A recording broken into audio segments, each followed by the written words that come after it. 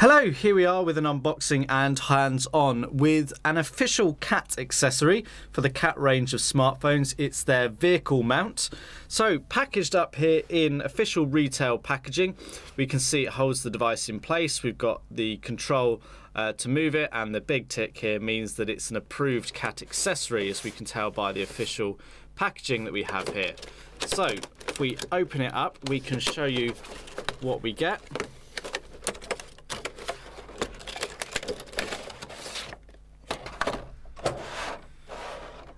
So the kit is made up of two parts. The first part is the device holder itself here. So you have probably seen something like this before. This is a cat branded one. It's a universal holder. So if I press this button here, the two arms simply move out and you'll see that we've got little teeth. I don't know if you can, how well you can see that. The little teeth and they click into a mechanism inside and each tooth is a locking position that uh, can hold the device in place. I press this button to release it. We've got nice thick bits of foam that these uh, act as padding between the device and the clamp arms. On the back here we've got uh, a single sort of lug if you like for actually connecting to the arm for the vehicle holder. Got a few screws where the construction's here. You can see the uh, teeth perhaps a little bit easier here. And then if we come back round to the front, on the bottom, we've got these little feet that can be rotated 90 degrees. Well, actually, it can be rotated a whole 360 if you want, but uh, why you would, I don't know. Uh, but these basically hold the phone in place. You don't necessarily have to use them, uh, but they are quite helpful. So you can pop these up like that. Let's bring in a cat phone here. So we've got the Cat S50.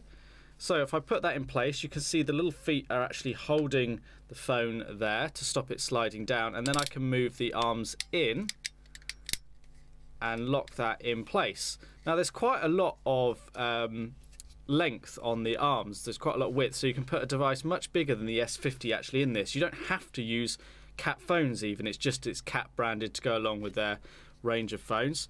Now that's quite securely in there. I'm giving that a good shake and it doesn't feel like it's moving at all. That's because it's held in by this locking mechanism and the foam on the side.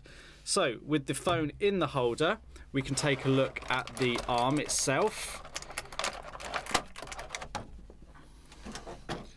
So here is the arm.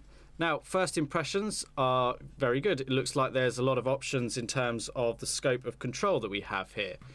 So, Naturally, we've got the cat branding on the top here. We've got a suction cup here, uh, and this will suck normally to uh, sort of a piece of glass on your windscreen.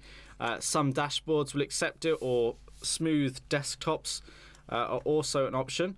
We've got a big sort of button here. That's for actually locking the suction cup in place. And when you press it down and it's clicked into place, you'll actually hear the sound of this clicking, and then you press it to release.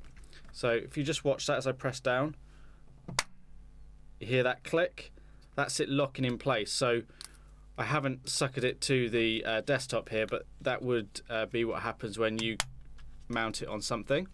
So imagine that's securely in place uh, on the windscreen or wherever you're mounting it. You've then got these screws that you can loosen and you can articulate the joint basically 180 degrees here which is useful. And then you've got the same again on the top portion of the mount. So you can see we can kind of manipulate that. We can screw it back in place to lock it in position.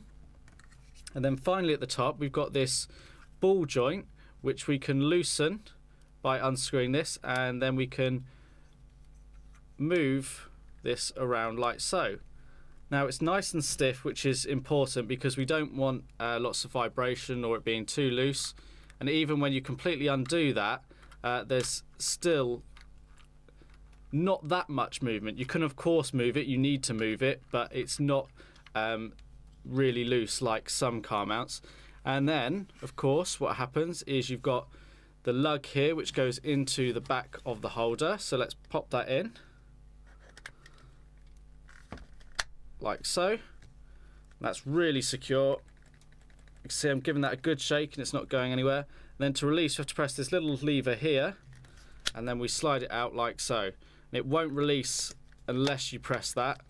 It's not going anywhere, so I need to press that and then it will come out.